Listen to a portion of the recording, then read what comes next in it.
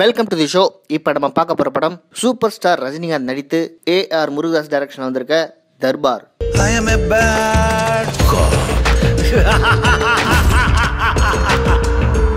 ரெண்டாயிரத்தி இருபதுல first review பண்ற தமிழ் படம் தர்பார். இந்த வருஷம் முடியும் போது இந்த தர்பார் படம் நம்ம மனசுல நீங்க இடம் பிடிக்குமா? மக்கள் கிட்ட தர்பார்னா ஒரு பாட்ஷா ரேஞ்சுக்கு ஒரு நல்ல இடத்த பிடிக்குமா அப்படின்னு நீங்க கேட்டீங்கன்னா அதை இன்னைக்கே இப்பவே சொல்ல முடியாது. வேணா இந்த வருஷத்தோட கடைசியில பார்க்கலான்னு நிறைய பேர் சொல்லிட்டு எஸ்கேப் ஆயிடுவாங்க. ஆனால் நாங்கள் இப்போவே சொல்கிறோம் ரஜினி கெரியரில் எடுத்துக்கிட்டிங்கன்னா டாப் டென் மாஸ் ஆக்ஷன் ஃபிலிம்னு நீங்கள் லிஸ்ட் எடுத்தீங்கன்னா அந்த டென்னுக்குள்ளே இந்த தர்பார் நிச்சயமாக வந்து நிற்கும் அந்த அளவுக்கு இந்த படம் ரஜினி ரசிகர்களில் நூற்றுக்கு நூறு சதவீதம் திருப்தி பண்ணியிருக்கு. அதனால் உங்களுக்கு ரஜினியை கொஞ்சமாச்சும் பிடிக்கும்னா இந்த படத்தை பற்றின ரிவ்யூவை யார் சொல்கிறதையும் கேட்கவே கேட்காதீங்க.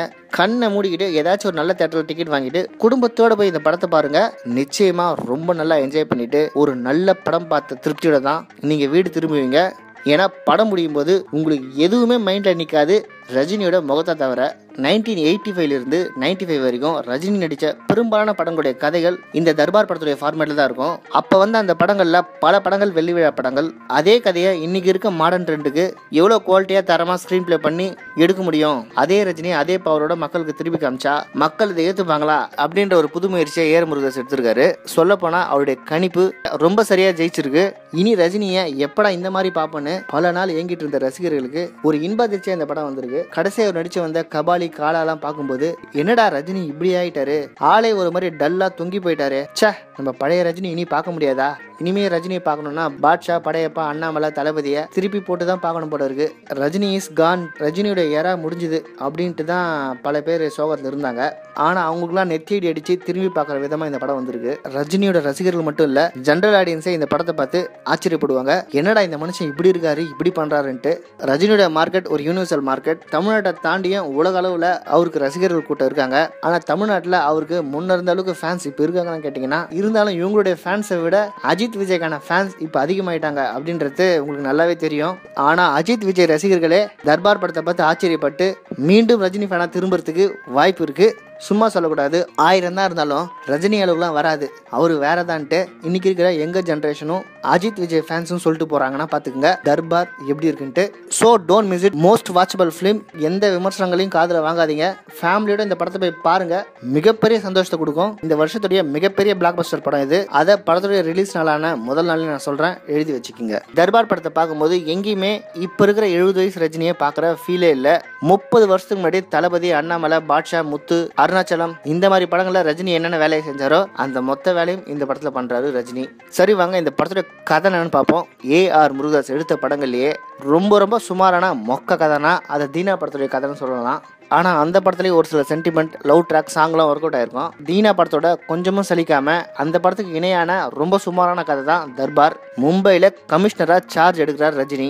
அங்கே இருக்கிற ட்ரக் மாஃபியா உமன் டிராஃபிக்கை ஒட்டுமொத்தமாக தொண்ணூறு சதவீதம் கட்டுப்படுத்திடுறாரு. போதை பழக்கம் சிறுவர்கள் பாலியல்னு இந்த மாதிரி குற்றத்தில் எவன் மாட்டினாலும் தட்டி தூக்கி திம்சம் பண்ணுறாரு இந்த மாதிரியான கிரைமுக்கெல்லாம் தலைவனான கேங் லீடரை பிடிச்சி அரெஸ்ட் பண்ணி ஜெயிலில் போறாரு. அவனுக்கு ஆயுள் தண்டனை கிடைச்சிடுது. தண்டனை கிடைச்சவன் பதினாலு வருஷம் ஜெயிலில் இருப்பான்னு பார்த்தா ஜெயிலில் அவனுக்கு பதில் அவனை மாதிரியே ப்ராக்சியா ஒரு டூப்ளிகேட்டை உள்ள வச்சுட்டு மெயின் வில்லன் தாய்லாந்துக்கு தப்பிச்சு போய் ஜாலியாக இருக்காரு. இந்த உண்மையை தெரிஞ்சுக்கிற ரஜினி தாய்லாந்தில் இருக்கணும்னா இந்தியாவுக்கு வர வைக்கிறாரு. ஒரே நேரத்தில் ஜெயிலில் இருக்க டூப்ளிகேட்டையும் ஒரிஜினலையும் போட்டு தள்ளிடுறாரு. இன்டர்வல் தான் தெரியும் செத்து போன அந்த பையனோட அப்பா தான் மிகப்பெரிய வில்லன்ட்டு உலகமே தேடப்படும் குற்றவாளி அவர். பதுங்கி வாழற மாஃபியா கேங் லீடரான சுனில் செட்டி தான் பையனை கொண்டதுக்கு பழித்திக்க இந்தியாவுக்கு வராரு. ரஜினியோட பொண்ணை போட்டு தள்ளுறாரு. தான் பொண்ணை இழந்ததுக்கு அப்புறம் வெறி கொண்டு எழுந்து இதுக்கு காரணமா எவன் இருந்தாலும் சரி விட மாட்டேன்னு மும்பையில் இருக்க ஒரு ரவுடி கூட விடாம எல்லாரையும் என்கவுண்டர்ல போட்டு தள்ளுறாரு. கடைசியில மெயின் வில்லன் யாருன்னு தேடி கண்டுபிடிச்சு அவனையும் கத்தியில குத்தி நார் நார கிழிச்சு கொன்னு இந்த கதையில ஜெயிக்கிறாரு. இதுதான் இந்த படத்துடைய கதை. இந்த படத்துடைய கதையை கேட்டவுடனே என்னடா இந்த கதை ரொம்ப சாதாரணமாக இருக்கு? தமிழ் சினிமாவிலேயே இந்த மாதிரி ஒரு ஆயிரம் கதைக்கு மேலே வந்திருக்குன்னு எல்லாருக்குமே தோணும். கதை விஷயத்தில் ஏர் முருகதாஸ் இந்த தடவை பெருசாக யோசிக்கவே இல்லை. அவர் எந்த கதையை எடுத்தாலும் இது ஏன் கதை அது ஏன் கதைன்னு ஆளால் மாற்றி மாற்றி கேஸ் போட்டதால கடுப்பாயிட்டார் போல. இப்போ எடுத்திருக்க இந்த தர்பார் படத்துடைய கதை என்னதுன்னு எவனுமே சொல்ல முடியாது. அப்பேற்பட்ட கதையே இல்லாத ஒரு படத்தை பண்ணி ஜெயிச்சு காட்டுறனாண்டு முடிவு பண்ணிட்டார் போல. இந்த கதையில் ஏஆர் முருகதாஸுடைய பிரில்லியன்ஸி ரொம்ப கம்மியாக இருக்கும். ஏஆர் முருகதாஸை மட்டுமே நம்பி இந்த படத்தை பார்க்க போனவங்க. நிச்சயமாக ஏமாற வாய்ப்பு இருக்குது அவரா இந்த மாதிரி கதை எடுத்தாருன்னு ஆச்சரியமும் தோணலாம். ஆனால் இந்த விஷயத்தெல்லாம் கணிக்காமையா ஏஆர் முருகதாஸ் இந்த படத்தை எடுத்தாரான்னு கேட்டிங்கன்னா நிச்சயமாக இல்லை. இந்த விஷயத்த ரொம்ப நல்லா யூகிச்சு தான் இந்த படத்தை எடுத்திருக்காரு ஏஆர் முருகதாஸ். இன்னைக்கு இந்த தர்பார் படம் ரிலீஸ் ஆயிருக்கு. நூற்றுக்கு பத்து பர்சன்ட் தான் ஏஆர் முருகதாசன் நம்பி இந்த படத்தை பார்க்க போயிருக்காங்க. மிச்ச தொண்ணூறு பர்சன்ட் ஆடியன்ஸும் ரஜினிக்காக மட்டுமே தான் போயிருப்பாங்க. அந்த தொண்ணூறு சதவீத ஆடியன்ஸும் இன்னைக்கு ரொம்ப திருப்தியாக இருக்காங்க. ஸோ இந்த பத்து பர்சன்ட் லாஸ் ஆகிறது பெருசு இல்லை. பத்து பெருசா தொண்ணூறு பெருசான்னு கேட்டிங்கன்னா தொண்ணூறு தான் பெருசு. அதனால இந்த விஷயத்தில் ஏஆர் முருகதாஸ் ஜெயிச்சிட்டாரு. ரஜினி ஃபேன்ஸுக்கு ரொம்ப பிடிக்கிற மாதிரி ஒரு படத்தை எடுக்கணும். ரஜினி ஃபேன்ஸ் கொண்டாடினா போதும்னு ரொம்ப தீர்மானமாக இந்த படத்தை எடுத்திருக்காரு. ஜென்ரல் ஆடியன்ஸும் இந்த படத்தை பார்க்கும்போது ரஜினியவே பிடிக்காதவங்க கூட இந்த படத்தை பார்க்கும்போது ரஜினி பண்ணுற வேலையை பார்த்து ஆச்சரியப்பட்டு ரஜினியை பிடிக்கவும் வாய்ப்பு இருக்கு. அந்த அளவுக்கு இந்த வயசுல அவர் பண்ணுற வேலையெல்லாம் பார்க்கும்போது ஒரு பக்கம் நம்ம வீட்டில் இருக்க தாத்தா பாட்டிலாம் எழுபது வயசுல இந்த வேலையெல்லாம் பண்ணுவாங்களா? இல்லை நாம தான் இப்படி இருப்போமான்னு ஒரு அதிசயமாகவும் அற்புதமாகவும் ஆச்சரியமாகவும் ரஜினியை பார்க்க நேரிடுது. நாங்கள் ரஜினி படத்தை இப்படி தான் எதிர்பார்த்தோம். இந்த அளவுக்கு ஸ்பீடாக எனர்ஜியோட ரஜினியை பார்க்கணும். ரஜினிக்கான மாஸ் ஃபைட்டு தெரிக்க விடுற ஹீரோயிசம் அட்டகாசமான துள்ளல் நடனத்தோட சாங்ஸு காம் காமெடி சென்டிமெண்ட்னு ஒரு பக்கா பேக்கேஜோட இந்த படம் வந்திருக்கு. எப்படா ஒரு முழு நில ரஜினி படம் பார்ப்போம் அப்படின்னு நினைச்சவங்களுக்கு ரொம்ப வருஷம் கழிச்சு இந்த படம் தரமான விருந்தா இருக்கு. இதுக்கு முன்னாடி ரஜினி இந்த மாதிரி மாச ஸ்டன்சீன்ல கலக்கி அட்டகாசமா டான்ஸ் ஆடி ரஜினி ஃபேன்ஸை ரொம்ப திருப்தி பண்ண படம் எதுன்னு கேட்டிங்கன்னா சங்கர் எடுத்த சிவாஜி படத்தை தான் சொல்லுவாங்க. அதுக்கப்புறம் வந்த இந்திரன் படம் நல்லா இருந்தாலும் அது ஃபுல் லென்த் ரஜினி படமா இல்லாம ஒரு சைஃபை படமா சங்கர் படமா வெளியே வந்துச்சு. அதுக்கடுத்து வந்த கோச்சடையன் அனிமேஷன் படமும் கதை நல்லா இருந்தாலும் அந்த பொம்மை படத்தை பல பேர் கண்டுக்கவே இல்லை. அடுத்து ரிலீஸ் ஆனது லிங்கா. இந்த பக்கம் கஷ்டப்பட்டு டேம் கட்டுறன்ட்டு ரஜினி மூணு மணி நேரம் தேய் தேனி தேய்ச்சி இந்த நேரத்தில் அந்த பக்கம் விஜயோட கத்தி அந்த படத்துக்கு கொஞ்ச நாள் முன்னாடி ரிலீஸ் ஆனதால இதை விட கத்தி படத்துடைய கதை திரைக்கதை வசனம்லாம் படு பயங்கரமா ஒர்க் அவுட் ஆனதால லிங்காவுடைய கான்செப்ட்லாம் சுத்தமாக ஈடுபடல. அடுத்து ரிலீஸ் ஆனது பா ரஞ்சித்துடைய கபாலி. மிகப்பெரிய எக்ஸ்பெக்டேஷன் மிகப்பெரிய பப்ளிசிட்டி ஆனால் ரஜினி ஃபேன்ஸுக்கு ஃபர்ஸ்ட் ஆஃப் அன் அவர் மட்டும் தான் அந்த படம் பிடிச்சிருந்தது. லாஸ்ட் ஒரு டுவெண்ட்டி மினிட்ஸ் ஓகே ஏதோ பண்ணி அந்த படத்தை முடிச்சிருந்தாங்க. சொல்ல போனால் அந்த படத்தில் ரஜினி ஃபேன்ஸுக்கு ஃபர்ஸ்ட் ஆஃப் அன் அவர் தவிர வேறு எதுவுமே பெருசாக பிடிக்கல. இருந்தாலும் அந்த படத்தை ஒரு தடவை பார்க்கலாம். ஓகே ஓகே பரவாயில்லன்னு அந்த படத்தை விட்டுட்டாங்க. அடுத்து வந்தது காலா. கபாலி படத்துலயாச்சும் ஃபர்ஸ்ட் ஒரு ஆஃப் அன் அவர் ரஜினி ஃபேன்ஸுக்கு பிடிக்கிற மாதிரி இருந்தது. ஆனால் காலால அது கூட கிடையாது.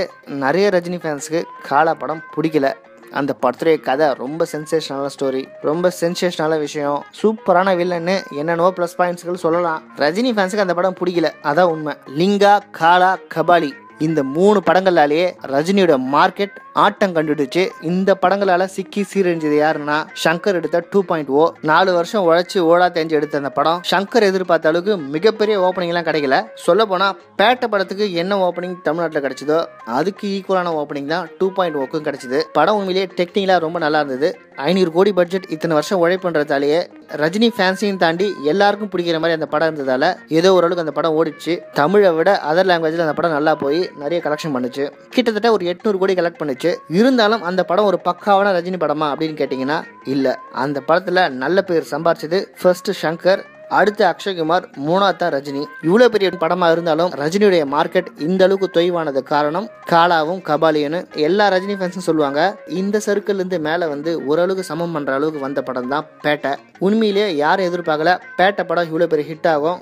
அனிருத்துடைய சாங்ஸ் அண்ட் பிஜிஎம் கார்த்திக் சுப்ராஜுடைய ஸ்க்ரீன் பிளே டைரக்ஷனில் ரஜினி நல்லாவே எழுந்து நின்றுட்டாரு பேட்டையில் எழுந்து நின்ன ரஜினி சுறுசுறுப்பா படுவேகமாக ஓடி ஆட்டம் போட்ட படம் தான் தர்பார். அதனால தான் சொல்கிறேன் இந்த படம் சங்கருடைய சிவாஜிக்கு அப்புறம் ஒரு தரமான பக்கா ரஜினி ஃபேன்ஸுக்கான படம் எதுனா அது தர்பார். இதை மக்களுக்கு கொடுத்தா போதும் அப்படின்ட்டு தீர்மானமாக அதை மட்டுமே கான்சென்ட்ரேட் பண்ணி எடுத்ததாலேயே ஏர் மருதாசை பாராட்டலாம்.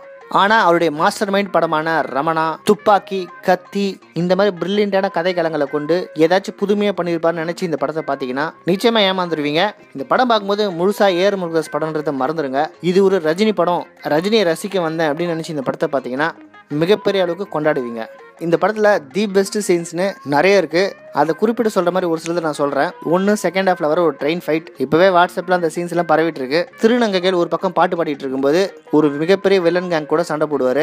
தூள் படத்தில் வர கான்செப்ட் மாதிரி ஒரு பக்கம் பாட்டு ஒரு பக்கம் ஃபைட்டுன்னு ரஜினி அந்த ஃபைட்டில் தெறிக்க விட்டுருப்பாரு. அந்த அளவுக்கு ரொம்ப அழகான ஹீரோயிசமாக அதை கொரிய பண்ணியிருக்காங்க அந்த ஸ்டண்ட் மாஸ்டர்ஸ் உண்மையான ரஜினி ஃபேன்ஸாக இருந்தால் அந்த ஃபைட் சீன் வரும்போது கண் கலங்கிடுவாங்க. நாங்கள் இவ்வளோ நாளாக இதை தான் எதிர்பார்த்தோன்ட்டு. அடுத்து ரஜினி ஒரு ஒரு நிமிஷம் பேர் பாடியை காமிச்சு ஜிம் ஒர்க் அவுட் பண்ணுவார். இனி ரஜினி ஃபேன்ஸ் ஒவ்வொருத்தரும் தன்னுடைய உடம்ப பார்த்துக்கணும். அவரே இந்த வயசில் ஒர்க் அவுட் பண்ணும்போது நமக்கெல்லாம் என்ன கேடுன்ட்டு அவங்கவுங்க மனசுல கேள்வி எழும்பாமல் இல்லை. அந்த ஜிம் சீனும் மிகப்பெரிய அளவு ஒர்க் அவுட் ஆயிருக்கு. அடுத்து ரஜினியோட துள்ளலான லவ் அண்ட் காமெடி சீன்ஸ் அதில் வர ரொம்ப ஜாலியாக வர டான்ஸ் ஆடுறாரு. நாலாவது செகண்ட் ஹாஃபில் ஒரு ரெண்டு மூணு சீன் சென்டிமெண்ட் சீன்ஸ் வருது. அந்த இடத்துல நிறுத்தி நிதானமாக ரஜினி நடிக்க ட்ரை பண்ணியிருக்காரு. என்ன? அவரை விட ஸ்க்ரீனில் அவர் பொண்ணு ஸ்கோர் பண்ணிடுறாங்க அப்படின்றது தான் உண்மை. இருந்தாலும் குறிப்பிட்டு சொல்கிற இந்த நாலு விஷயங்களுக்காகவே இந்த படத்தை தாராளமாக பார்க்கலாம். படத்தில் அணிகத்தோட பிஜிஎம் ரஜினி இது மட்டுமே தான் படம் முடியும் போது நம்ம மண்டைக்குள்ளே ஓடிக்கிட்டு இருக்கோம். படத்தோட முடிவில் இது ஜெயிச்சிருக்கான்னு கேட்டிங்கன்னா நூற்றுக்கு நூறு சதவீதம் வென்று இருக்கு. இப்போ இந்த படத்தை பற்றி குறை சொல்லணும்னா ஆயிரம் குறைகள் சொல்லலாம். இந்த படத்தில் லாஜிக் இல்லை இது ஒரு கதையா? ஏ ஆர் முருகதாஸ் கிட்ட இருந்து இப்படி எதிர்பார்க்கல. வில்லன் ஒன்றும் அந்த அளவுக்கு ஒன்றும் டெரரா இல்லை. துப்பாக்கி கத்தி அளவுக்குலாம் வில்லனுக்கு ஒர்த்து இல்லை. ரஜினி பொண்ணு சாவர சீன்ல அந்த அளவுக்கு லாஜிக் இல்லை. நயன்தாரா இந்த படத்துக்கு சுத்தமாக தேவையே இல்லை. அண்ணாமலை மியூசிக் போட்டு அனிருத் ஒப்பேத்திட்டு இருக்காரு. எழுபது வயசில் ரஜினிக்கு ஏன் இந்த மாதிரி தேவையில்லாத வேலை அப்படின்ட்டு ஒரு சிலர் வாய் சும்மா இல்லாமல் எதையாச்சும் பேசி இந்த படத்தை காலவாரி விடுறதுக்கான வேலையை பண்ணிக்கிட்டே இருப்பாங்க. ஆனால் அந்த மாதிரி எதையும் காதில் வாங்கி போட்டுக்காதீங்க. தர்பார் படத்தை பற்றி விமர்சனத்தை கேட்கறத விட இந்த படத்தை பார்த்துட்டு படம் பார்க்குற ஒவ்வொருத்தரும் நீங்களே விமர்சனம் பண்ணுங்க. நிச்சயமா ரஜினி ஃபேன்ஸாக இருந்தால் குறைகளே இருக்காது. ஜென்ரல் ஆடியன்ஸாக இருந்தாலும் குறைகள் ரொம்ப கம்மியாக தான் வரும். ஸோ இந்த சினிமா ரிவியூவர்ஸ் கிரிட்டிக்ஸ் இதெல்லாம் கணக்கில் எடுத்துக்காதீங்க. படம் ஆரம்பத்துலேருந்து கடைசி வரைக்கும் ரஜினின்ற மாஸ் ஆக்டர் நம்ம கையில் இருக்காங்க.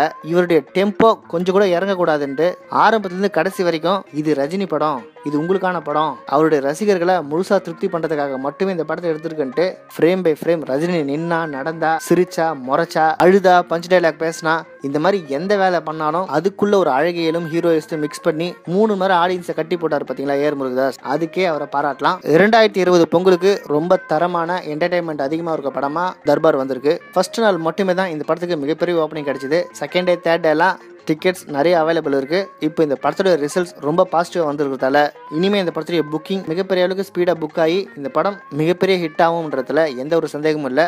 இந்த படம் மொத்தம் இரநூத்தி இருபது கோடி பட்ஜெட்டில் வந்திருக்கு. ரஜினியோட சம்பளமே நூறு கோடி. அதில் டுவெல் பர்சன்ட் ஜிஎஸ்டி வேற போட்டு கொடுத்துருக்காங்க. ஏஆர் முருகதாஸ்க்கு முப்பது கோடி சேலரி இந்த படத்தில் நடிச்சிருக்க ஆர்டிஸ்டோட சம்பளம் மட்டுமே நூற்றி ஐம்பது கோடி வந்துடுச்சு. ரஜினி இது வரைக்கும் வாங்கின சம்பளத்திலேயே இதுதான் அவர் வாங்கின அதிகபட்ச சம்பளம். அவர் சம்பளமாக வாங்கின நூறு கோடியை பொங்கலுக்கு முன்னாடியே சம்பாரிச்சிடும். தர்பார் படம். அதுக்கு அடுத்தடுத்து வரக்கூடிய லாபங்கள் எல்லாமே இந்த படத்துடைய மிகப்பெரிய வெற்றியை தீர்மானிக்கும். அதை பொறுத்து இருந்து பார்ப்போம். இந்த படத்துக்கு நூறு மார்க் எவ்வளோ கொடுக்கலாம்னா நீங்கள் ஒரு ரஜினி ஃபேன்ஸாக இருந்தால் இந்த படத்துக்கு நூற்றுக்கு மேலே இந்த படத்துக்கு மார்க் கொடுக்கலான்னு ரொம்ப சந்தோஷமாக சொல்லிட்டு போயிடுவீங்க. ஆனால் ஜென்ரல் ஆடியன்ஸாக இருந்தாலுமே இந்த படத்துக்கு நூற்றுக்கு தாராளமாக தொண்ணூறு மார்க் கொடுக்கலாம். என்ன ஃபர்ஸ்ட் ஹாஃப்ல இருந்த ஸ்பீடு மாதிரி செகண்ட் ஹாஃபோட கதையில் ஸ்பீடு கொஞ்சம் கம்மியாக இருக்குன்னு ஒரு சின்ன குறைகளை சொல்லிட்டு போகலாம் இருந்தாலும் நீங்கள் கொடுக்க போகிற டிக்கெட் காசுக்கு நூற்றுக்கு தொண்ணூறு சதவீதம் ஒர்த்தான படம்ட்டு தான் நிறைய பேர் சொல்லிட்டு போவாங்க. அடுத்த படத்தில் சந்திப்போம். நம்ம நாட்டுல அடிக்கடி தேர்தல் வந்துகிட்டே இருக்கு. பிரதமர்களும் மாறி மாறி வந்துகிட்டே இருக்காங்க. ஒரு ஸ்ட்ராங்கான பார்லிமெண்ட் அமையணும்னா என்ன செய்யலாம்? அதாவது சங்கர் சிமெண்ட் வாங்கி கட்டினா பார்லிமெண்ட் ரொம்ப ஸ்ட்ராங்கா இருக்கும். சங்கர் சிமெண்ட்ல கட்டினா சங்கர் திட்ட மாட்டாரா யார் அது?